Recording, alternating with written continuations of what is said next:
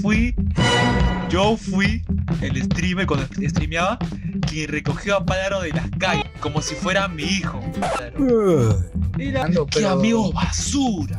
Ajá, por eso me estaba costando respirar. Mira al lado y había una señora.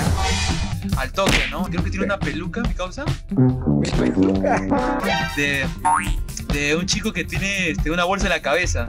Pálaro ahora no tiene mucho que decir, pero de seguro en la cama me lo va a decir. ¡Hey, qué tal, gente! Comenzamos la entrevista. Esta sería la tercera entrevista que hacemos, hermano. Un honor tener a Pálaro San, que seguro tú, si no lo conoces, es porque no eres parte de, de la comunidad, tal vez. Porque yo, yo y Pálaro compartimos un poco de comunidad. Porque les cuento, así rapidísimo, que yo fui, yo fui el streamer cuando streameaba, quien recogió a Pálaro de las calles. Pálaro era como un gatito botado en las calles, pidiendo limosna. Como un china. mendigo estaba en la calle. Y yo que pasé ahí todo, todo señor con mi traje, con mi gorrito y con mis fans por atrás, le digo, ¿qué dice? Vamos a recogerlo, ¿no? Y, con, y traje una cajita y lo, y lo llevé a mi casa. Como si fuera mi hijo. No, pero básicamente la, historia era que yo tenía un poco de viewers, se podría decir. Tenía ya un poco de viewers, como 15, 16 por ahí, ¿no? ¿No pagaron? Y Ajá. de la nada me pasaron, porque yo le dije a mis moderadores que me pasen links de streamer que tengan cero o pocos viewers. Creo que tú tenías cero, no sé cómo tenías, dos, ¿no? No, tenías Dos, tres, por ahí. 55. Yo me acuerdo de ti, creo que tenías un avatar que estaba jugando Minecraft, si no me Ah, equivoco. sí, una bonita Vale, china. la cosa es que yo a él lo, ¿cómo se dice? Raidear, ¿no? Sí. ¿Sí, sí? Yo lo raideé a él, fui a su es- stream y todos fueron a, a comentarlo, a seguirlo, a apoyarlo. Y así fue como él consiguió el afiliado. Ya comenzó a generar ingresos y también activó los puntos del canal. Gracias a quién? A Al- mí. Nunca me dijo gracias. Nunca me, ¿Cómo nunca que no? me devolvió el, fa- el favor. ¿no? ¿Cómo? Y cabe aclarar, cabe aclarar rapidísimo que esta es la primera vez que vemos a Padre con cámara, ¿cierto? Nadie más te ha visto con cámara. Sí, nadie me ha visto. Te- Tengo el privilegio de ver a ser el primero en ver a Pádaro con cámara, porque todos sus streams era con un avatar, luego creo que era sin avatar o te lo cambiaste, no me acuerdo. Me puse un dibujito que Ya, hice. la cosa es que nadie vio su cara hasta ahora. Yo soy el primero y tú que me estás viendo ya eres parte de los primeros que ven la cara del Pádaro. Y la verdad es que no decepcionó a todos. Yo esperaba alguien musculoso, alguien grandote, con la voz que se maneja este hombre. Yo esperaba un señor.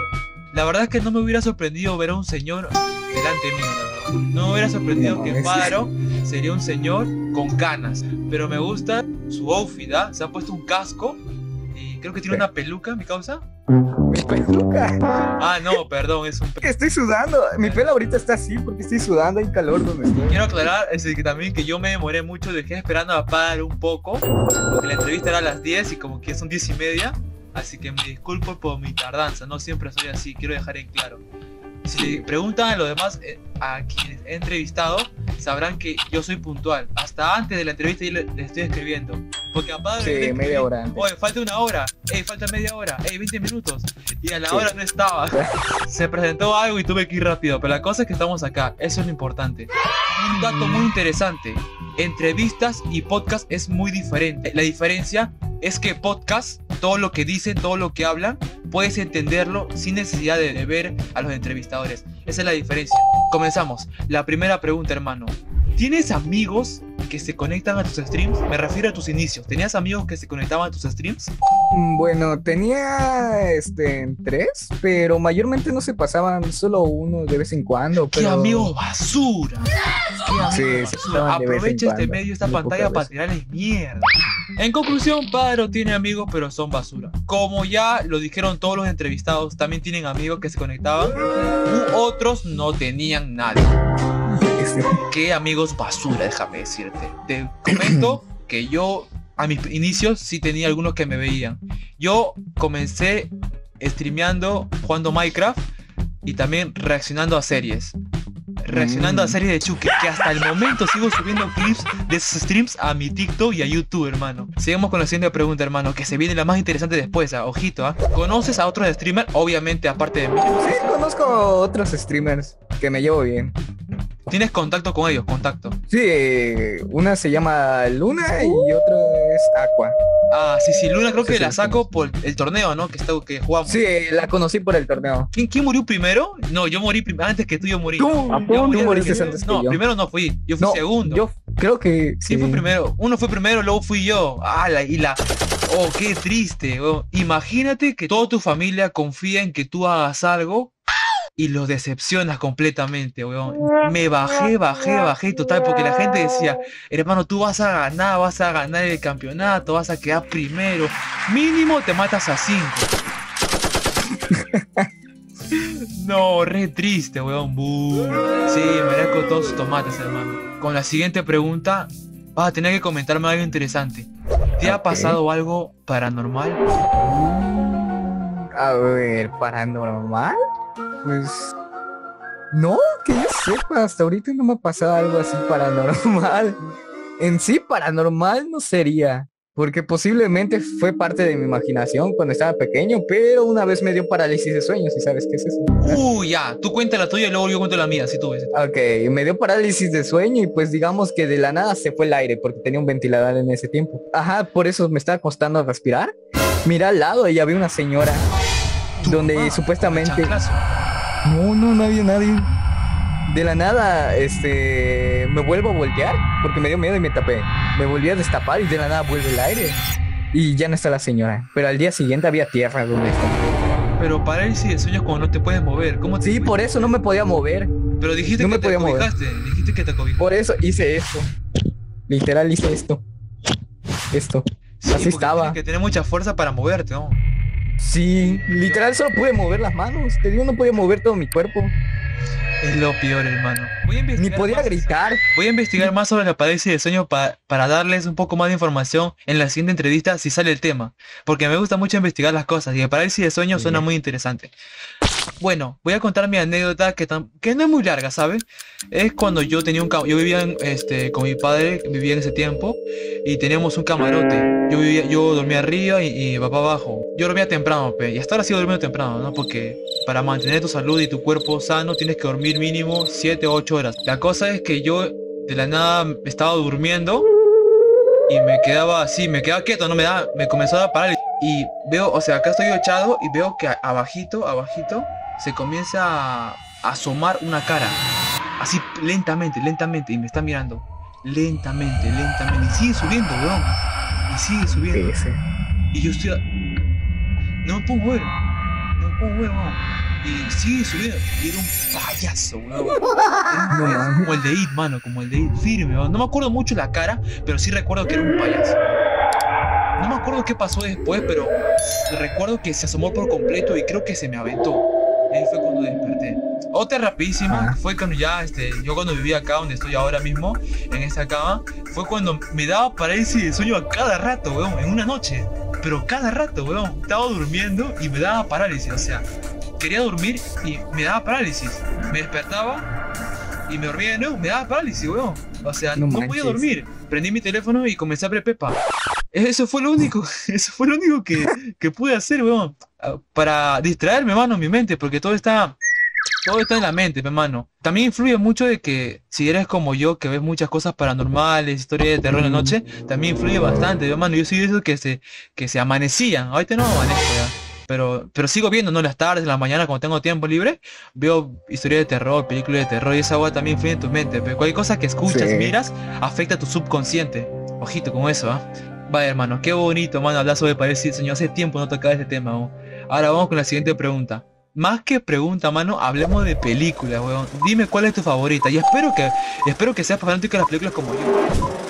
A ver, película favorita. A ver, ando recordando. Porno no, porno no, ¿ah?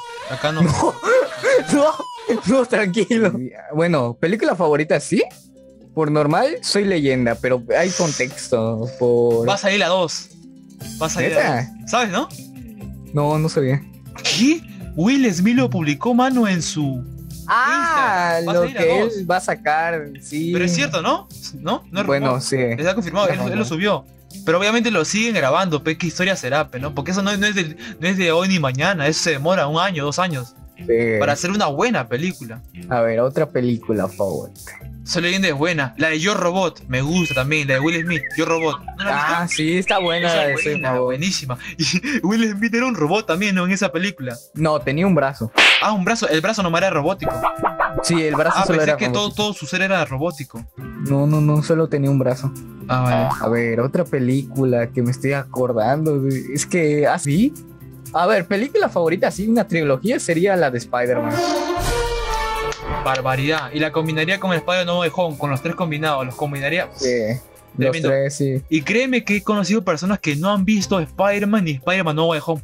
¿Tú crees que es un- buena la, la serie o las películas de Star Wars? Yo nunca las he visto, no me llama la atención, la verdad. Eh, bueno, es que dependiendo también tus gustos. A algunos se le hacen muy aburridos y a otras personas no. Es que, mira, series buenas que puedes ver de Star Wars sin saber más o menos la trilogía serían de Mala- Mandalorian. ah, Mandalorian, me, me la recomendaron eso.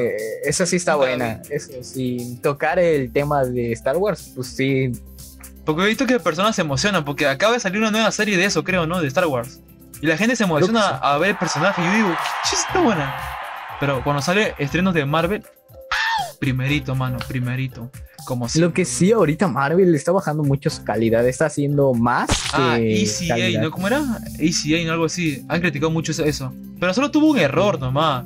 Solo por tener un error ya, ya están criticando todo, todo su saga. No, pero ahorita mayormente su línea de, ¿cómo se dice? De trama ya se está haciendo un poco repetitivo y está siguiendo, cambiando casi todo ahorita. Lo que me gusta es que hace esperar, ¿no? No es que te da las cosas que quieres a- a- a- al toque, ¿no? La cosa es que se hace esperar.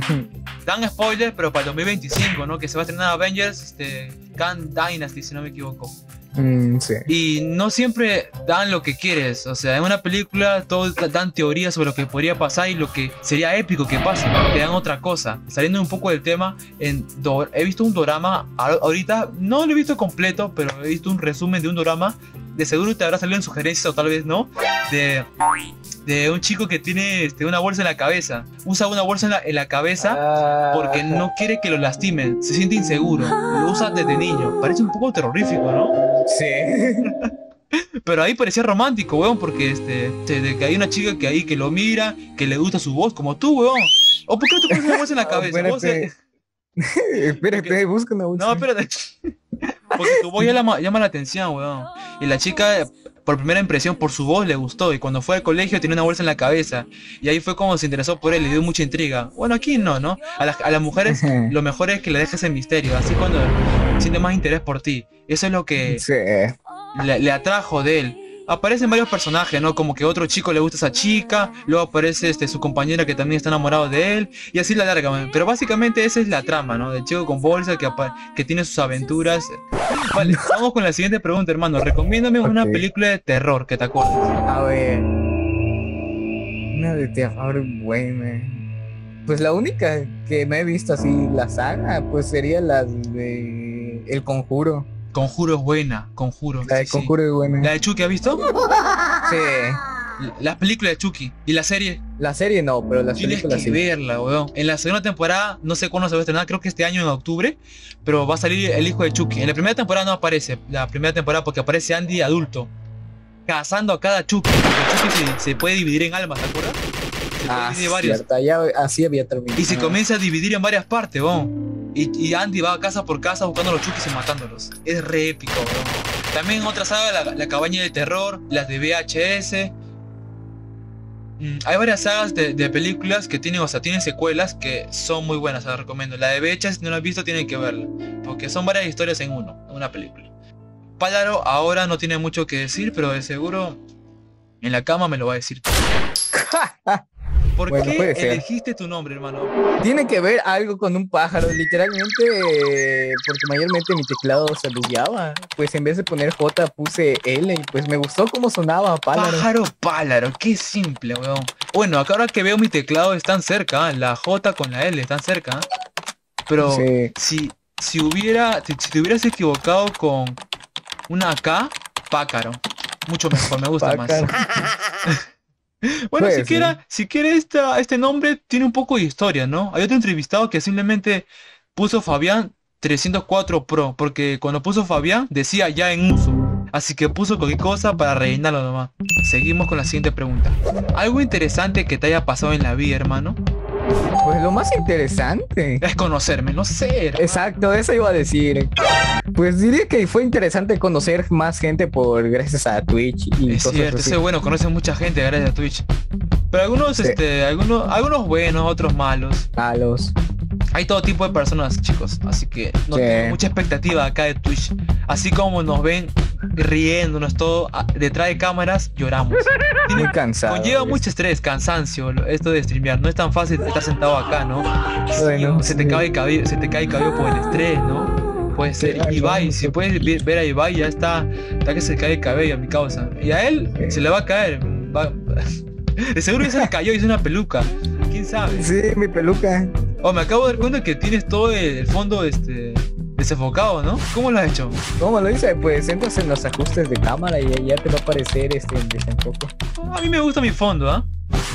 Sí, está tiene- padre. Tiene su estilo. Sí. Vamos con la siguiente pregunta, ya casi finalizando. ¿Por qué crees que te mereces ser reconocido, mano? ¿Cuál es tu propósito? ¿Qué, qué has hecho de bueno en tu vida para ayudarte la fama que mereces, supuestamente? A ver. En sí no sería tanto por la fama. A mí lo que en sí me gusta es entretener a la gente. Si tienen un mal día, pues para que se diviertan, se la pasen así tranquilo. Si tuvieran estrés ese día, pues reconocimiento Claro, es no el objetivo de cualquier streamer, ¿no? Sacar sonrisas podría decir. y también sacar plata, ¿no? bueno, yo no estoy pensando tanto en el dinero ahorita, pero. Dame tu, dame tu dinero, hijo de puta. Ah. No me interesa la plata, toma, toma, toma, toma, no me interesa el ¿no? dinero, tome. Ahorita sale a la calle, se desnuda y le da, le da dinero a todo, mano. No me importa el No dinero, tome. Pero ¿cómo estás económicamente? ¿Vas bien o necesitas un trabajo, no? Para- Pues hasta ahorita voy bien. Bueno, tenía un trabajo antes de medio tiempo, pero. ¿Qué, qué, qué hacías? no, este, hacía botones para muebles. Ojito, me falta un botón acá, mano. Pues bueno, me pagaban este 500 pesos mexicanos a la semana. Ana, ¿tú ves doramas, hermano? No, no veo doramas. La mayoría no mira, mano. Ah, Bestia, es que hace tiempo que no veo la tele. A la yo ta- madre. no puede ser, nos quedan 10 minutos. Otra vez. Lo mismo que me pasó con el anterior entrevistado. Tuve que admitir ante todo el público y lo vuelvo a admitir. Soy pobre. Vale, hermano. Di tus redes, hermano, rapidísimo para que la gente. te A siga. ver, tengo Instagram, me pueden seguir como Palaro87 y pues Twitch como Palaro. Palaro. A mí también me pueden seguir si quieren en Instagram, esas redes, pero todo lo van a dejar, este, todo va a estar en la descripción y también en pantalla. Este video mínimo, mil vistas, mínimo, mínimo. Hola. Y si Pálaro no me cumple esas vistas, lo bloqueo de mis redes. Chale. Así que dile a tus viewers, dile a la comunidad que vengan a ver el video y dejen su like. Quiero resaltar que Paro, para entrar al Zoom, tuvo que conectarse con el celular de su mamá, creo, ¿no? Porque entraste como Sofía. tanto- No. Entraste como, So- como Sofía. ¿Quién es Sofía? Eh, era una prima que vino una vez acá A la mi prima casa. se la rima. Así como es. Así Nada que esto, gente. Chao. Nada que ver.